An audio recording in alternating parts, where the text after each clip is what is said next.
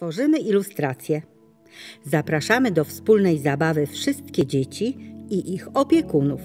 Zachęcamy do pobrania oraz kolorowania razem z nami ilustracji do czytanego tekstu.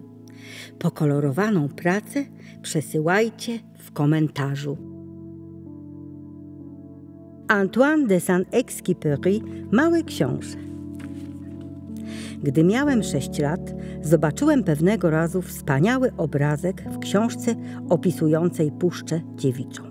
Książka nazywała się Historie Prawdziwe. Obrazek przedstawiał węża boa połykającego drapieżne zwierzę. Oto kopia rysunku. W książce było napisane: Węże boa połykają w całości schwytane zwierzęta.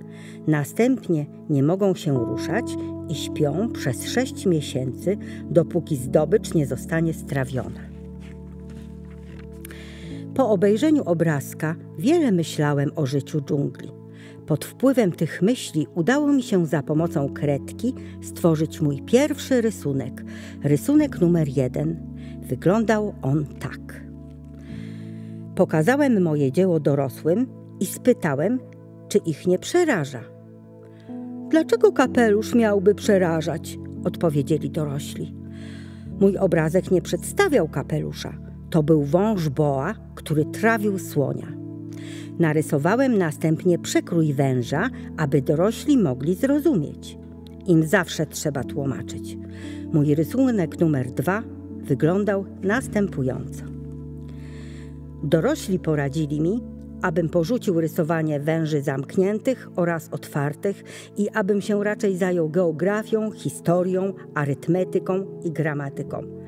W ten sposób, mając sześć lat, porzuciłem wspaniałą karierę malarską.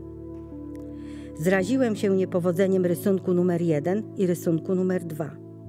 Dorośli nigdy nie potrafią sami zrozumieć, a dzieci bardzo męczy konieczność stałego objaśniania. Musiałem wybrać sobie inny zawód. Zostałem pilotem. Latem latałem po całym świecie i muszę przy, przyznać, że znajomość geografii bardzo mi się przydała. Potrafiłem jednym rzutem oka odróżnić Chiny od Arizony. Ta wiedza oddaje duże usługi, szczególnie wówczas, gdy się błądzi nocą. Zawód pilota dał mi okazję do licznych spotkań z wieloma poważnymi ludźmi. Wiele czasu spędzałem z dorosłymi, obserwowałem ich z bliska, lecz to nie zmieniło mojej opinii o nich. Gdy spotkałem dorosłą osobę, która wydawała mi się trochę mądrzejsza, robiłem na niej doświadczenie z moim rysunkiem numer jeden, który stale nosiłem przy sobie. Chciałem wiedzieć, czy mam do czynienia z osobą rzeczywiście pojętną, lecz za każdym razem odpowiadano mi: To jest kapelusz. Wobec tego nie rozmawiałem ani o wężach boa, ani o lasach dziewiczych, ani o gwiazdach. Starałem się być na poziomie mojego rozmówcy.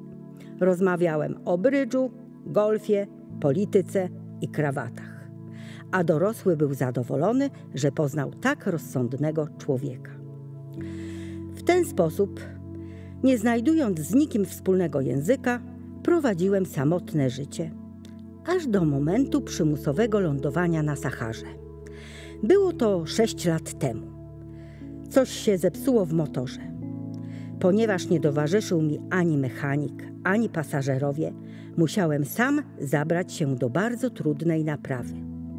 Było to dla mnie kwestią życia. Miałem zapas wody zaledwie na osiem dni. Pierwszego wieczoru zasnąłem na piasku o tysiąc mil od terenów zamieszkałych. Byłem bardzo osamotniony, bardziej niż rozbitek na tratwie pośrodku oceanu. To też proszę sobie wyobrazić moje zdziwienie, gdy o świcie obudził mnie czyjś głosik. Posłyszałem: Proszę, proszę cię, narysuj mi baranka. Co takiego? Narysuj mi baranka? Zerwałem się na równe nogi. Przetarłem dobrze oczy, natężyłem wzrok i zobaczyłem niezwykłego małego człowieczka, który bacznie mi się przyglądał. Oto jego najlepszy portret, który udało mi się zrobić później. Oczywiście nie jest on na tym rysunku tak czarujący jak w rzeczywistości. To nie moja wina. Gdy miałem 6 lat, dorośli zniechęcili mnie do malarstwa i dlatego umiem rysować tylko węże boa zamknięte i otwarte. Patrzyłem na to zjawisko oczyma okrągłymi ze zdziwienia. Nie zapominając, że znajdowałem się tysiące mil od terenów zamieszkałych.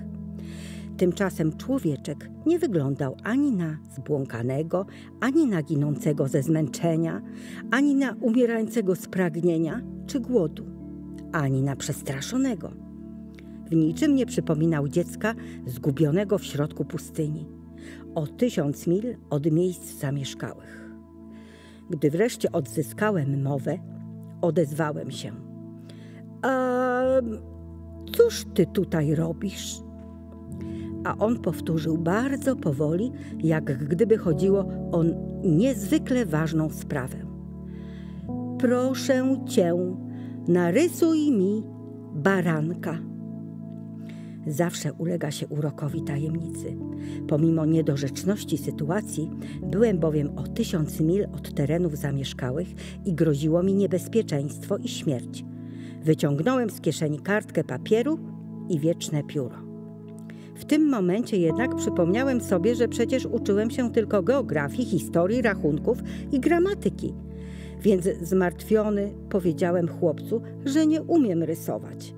Ale on odrzekł: To nic nie szkodzi. Narysuj mi baranka. Ponieważ nigdy w życiu nie rysowałem baranka, pokazałem mu jeden z dwóch rysunków, jakie umiałem zrobić rysunek węża boa zamkniętego. Ku memu zdumieniu chłopczyk odpowiedział: Nie, nie, nie chcę słonia połykającego przez węża boa. Boa jest zbyt niebezpieczny, a słoń za duży. Mam za mało, mam za mało miejsca. Potrzebny mi jest baranek. Narysuj mi baranka. Narysowałem baranka. Mały przyjrzał się uważnie i rzekł: Nie, ten baranek jest już bardzo chory. Zrób innego. Narysowałem.